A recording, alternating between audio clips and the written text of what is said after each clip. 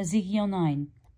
He cried also in mine ears with a loud voice, saying, Cause them to have charge over the city to draw near, even every man with his destroying weapon in his hand. And behold, six men came from the way of the higher gate, which lieth toward the north, and every man a slaughter weapon in his hand.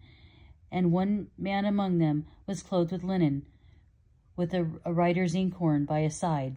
And they went in and stood beside the brazen altar. And the glory of God of Israel was gone up from the cherub, whereupon he was, to the threshold of the house. And he called to the man clothed with linen, which had the writer's inkhorn by his side. And the Lord said unto him, Go through the midst of the city, through the midst of Jerusalem, and set a mark upon the foreheads of the men that sigh and that cry for all the abominations that be done in the midst thereof.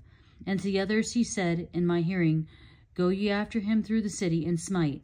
Let not your eye spare, neither have ye pity.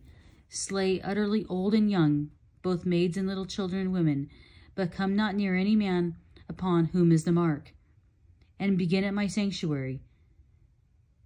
Then they begin at the ancient men which are before the house. And he said unto them, Defile the house, and fill the courts with the slain. Go ye forth. And they went forth and slew in the city. And it came to pass, while they were slaying them. And I was left that I fell upon my face and cried and said, O Lord God, wilt thou destroy all the res residue of Israel in thy pouring out of thy fury upon Jerusalem? Then he then said he unto me, The iniquity of the house of Israel and uh, Judah is exceeding great, and the land is full of blood, and the city full of perverseness. For they say, The Lord hath forsaken the earth, and the Lord seeth not, and as for me also, mine eye